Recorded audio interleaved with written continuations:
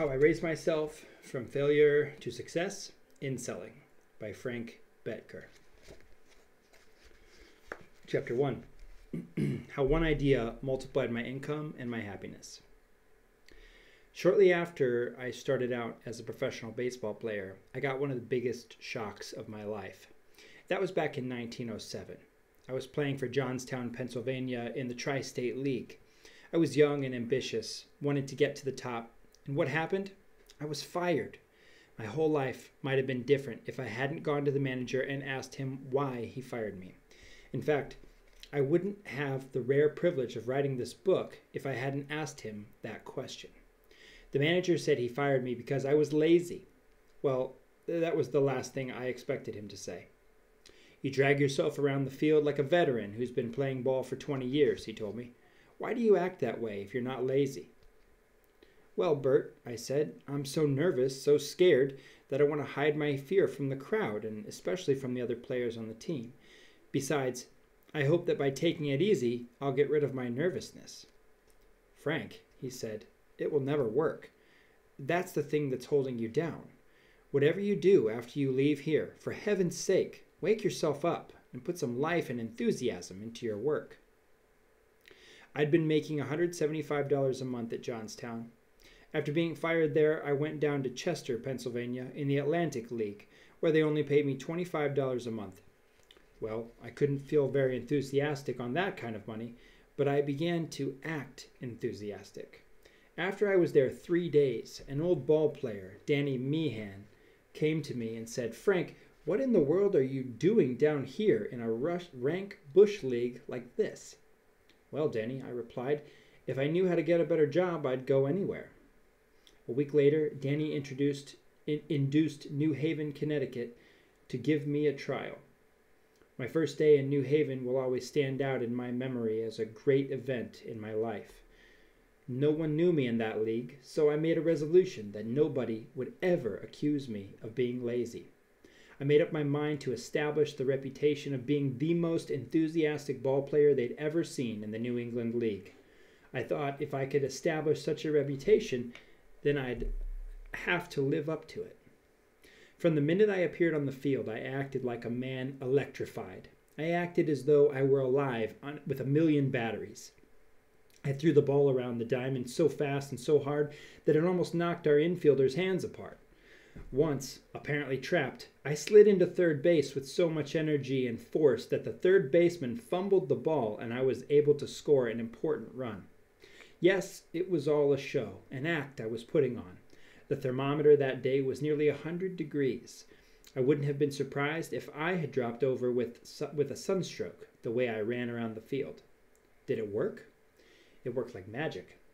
Three things happened. One, my enthusiasm almost entirely overcame my fear. In fact, my nervousness began to work for me, and I played far better than I ever thought I was capable of playing. If you're nervous, be thankful. Don't hold it back, turn it on. Let your nerves work for you. Two, my enthusiasm affected the other players on the team, and they too became enthusiastic. Number three, instead of dropping with the heat, I felt better during the game and after it was over than I had ever felt before. My biggest thrill came from following from the following morning. My biggest thrill came the following morning when I read in the New Haven newspaper, this new player, Bettger, has a barrel of enthusiasm. He inspired our boys. They not only won the game, but they looked better than at any time this season. The newspapers began calling me Pep Bettger, the life of the team. I mailed the newspaper clippings to Bert Conn, the manager of Johnstown. Can you imagine the expression on his face as he read about Pep Bettger, the dub he'd try, he'd tied a can to three weeks before for being lazy? Within 10 days, enthusiasm took me from $25 a month to $185 a month. It increased my income by 700%. Let me repeat Nothing but the determination to act enthusiastic increased my income 700% in 10 days. I got this stupendous increase in salary, but not because I could throw a ball better or catch or hit better, and not because I had any more ability as a ball player. I didn't know any more about baseball than I did before. Two years later, Two years from the time I had been hoping to get $25 a month in that little Chester outfit, I was playing third base for the St. Louis Cardinals and had multiplied my income 30 times over. What did it? Enthusiasm alone did it. Nothing but enthusiasm. Two years after that, while playing a game in Chicago against the Chicago Cubs, I had a bad accident. Picking up a swinging bunt while on a full run, I attempted to throw in the opposite direction. Something snapped in my arm. That accident forced me to give up baseball.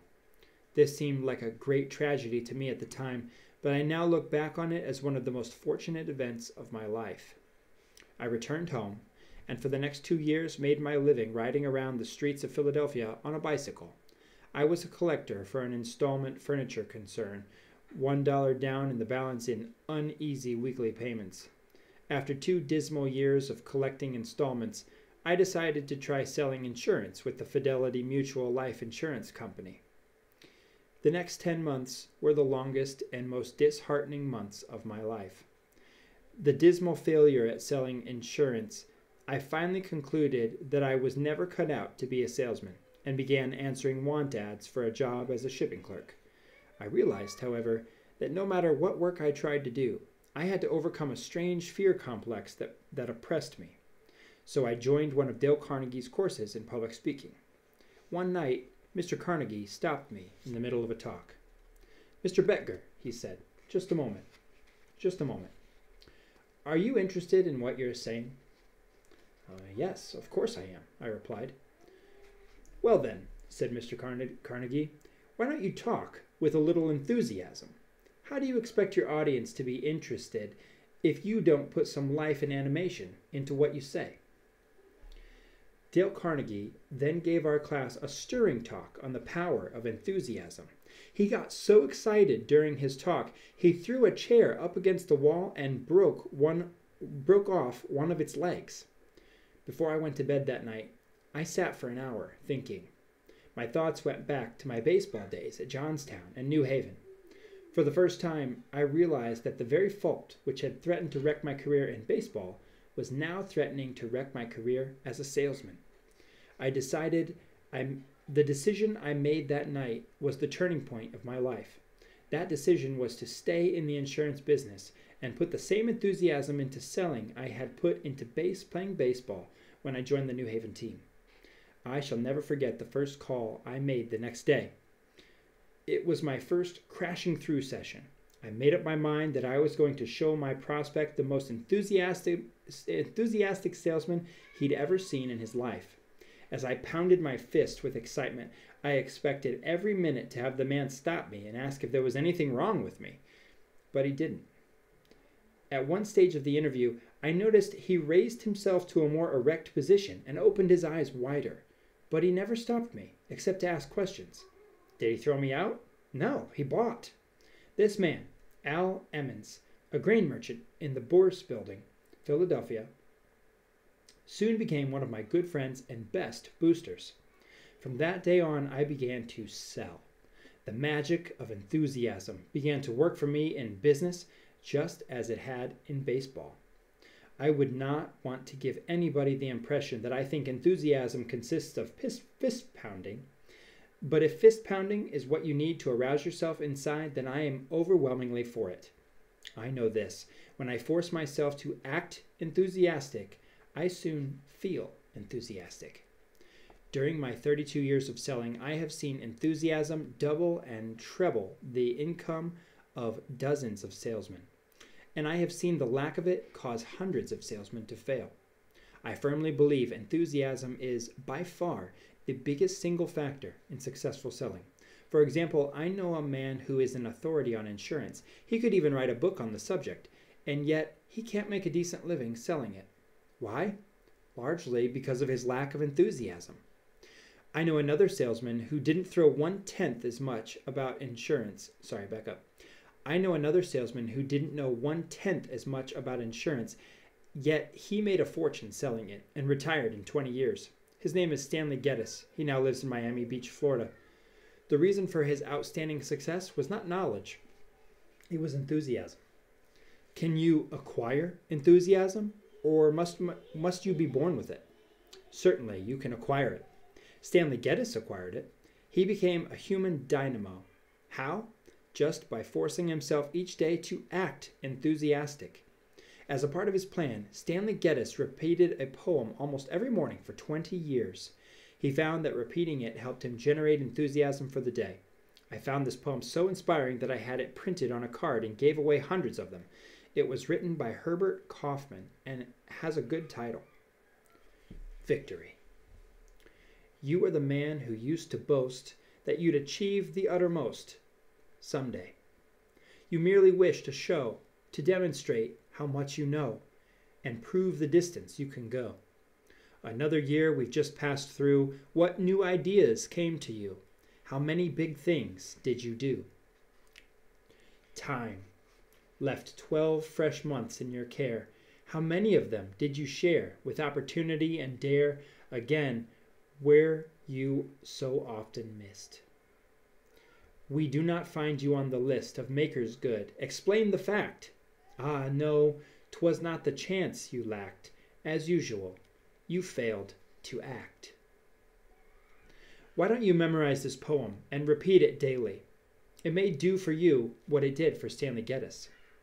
Once I read a statement made by Walter P. Chrysler. I was so impressed by it, I carried it in my pocket for a week. I'll bet I read it over 40 times until I knew it by heart. I wish every salesman would memorize it. Walter Chrysler, when asked to give the secret of success, listed the various qualities such as ability, capacity, energy, but added that the real secret was enthusiasm. Yes, more than enthusiasm, said Chrysler. I would say excitement. I like to see men get excited. When they get excited, they get customers excited, and we get business. Enthusiasm is by far the highest paid quality on earth, probably because it is one of the rarest. Yet, it is one of the most contagious. If you are enthusiastic, your listener is very likely to become enthusiastic, even though you may present your ideas poorly. Without enthusiasm, your sales talk is about as dead as last year's turkey.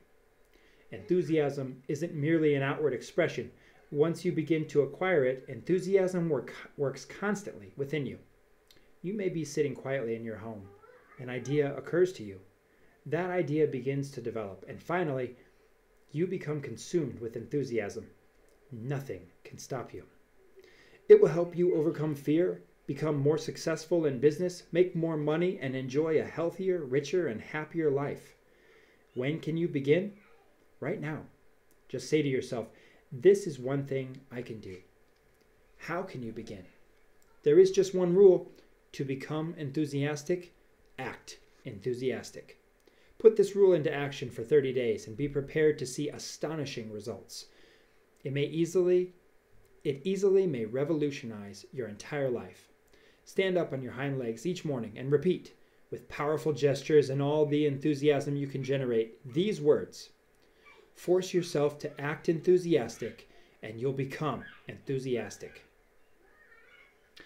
I urge you to reread the, many times this chapter by Frank Bettger and to make a high and holy resolve that you will double the amount of enthusiasm that you have been putting into your work and into your life if you carry out that resolve, you will probably double your income and double your happiness. Dale Carnegie.